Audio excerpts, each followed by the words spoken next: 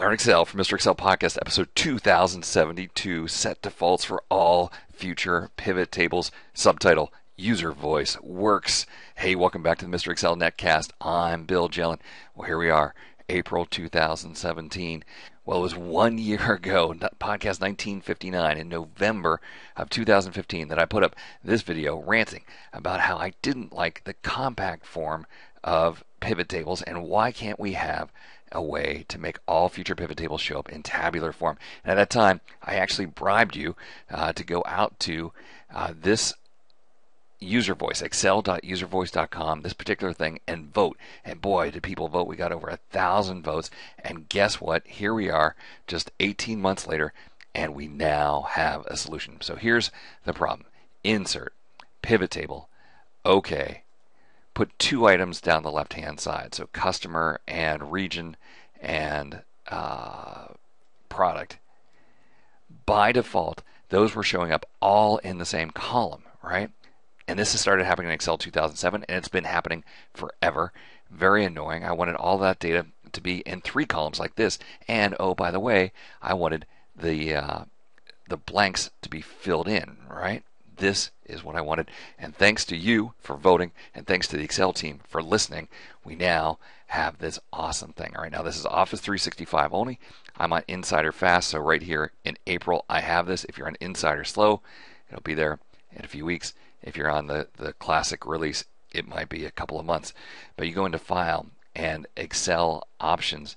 And here is the weird, weird thing. It's going to be in one of two places. It's either on the Data tab, and it hangs out here on the Data tab a lot until Excel crashes. Then it moves from the Data tab to the Advanced tab, all the way down in Data. Where is it going to end up? I don't know. And I've asked the Excel team where it's going to end up, and they're being kind of coy about the whole thing. Uh, so look in both places, but here are the beautiful things.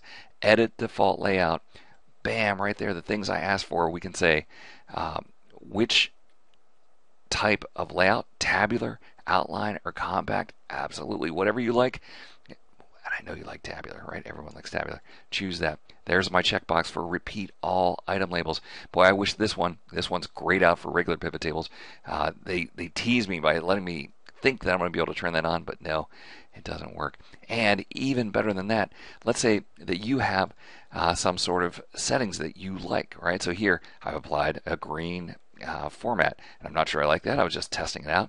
Or even if you would like the pivot table classic, right? So we go into Excel options, pivot table options, and on the display tab, classic pivot table layout, and now enables dragging of fields on the grid.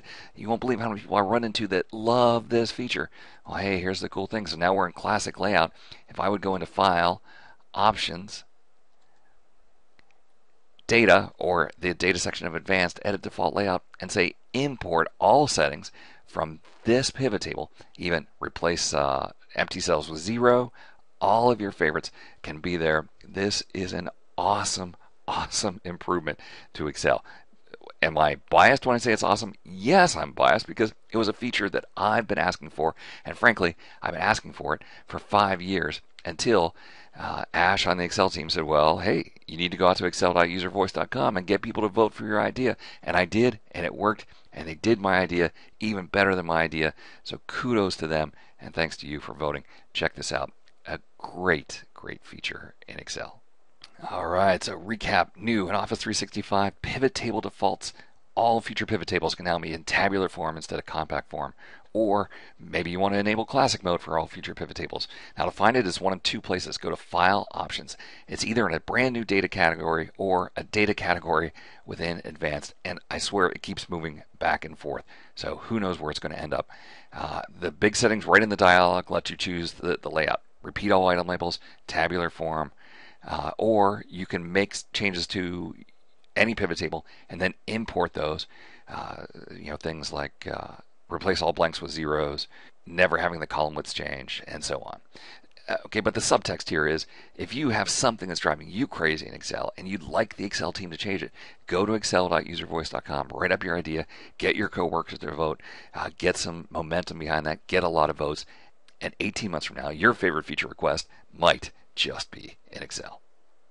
Thanks for stopping by. We'll see you next time for another netcast from Mr. Excel.